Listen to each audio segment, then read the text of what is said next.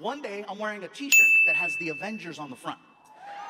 Ah, And I walk into the living room, and my son's friend Fabian sees me wearing this shirt. And so he starts pointing. And I'm like, what's up, dude? He goes, weak. Excuse me? Weak. And then he says, DC's better.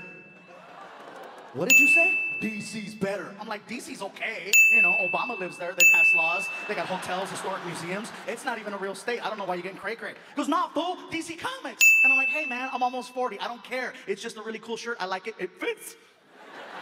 No big deal. That's because they are. I go, you need to relax. They're the best. I go, you need to chill. And in my head, I'm like, why am I having this conversation?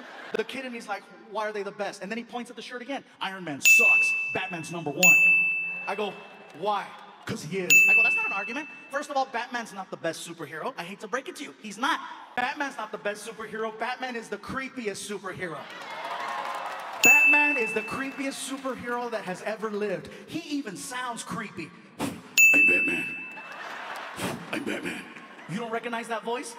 Want some candy? He only comes out at night. His face is always covered up. He's always waiting in alleys. And who does he talk to? A guy named Joker, a guy named Riddler. His name is Batman. Joker, Riddler, Batman. Joker, Riddler, Batman. Those are Mexican gang member names.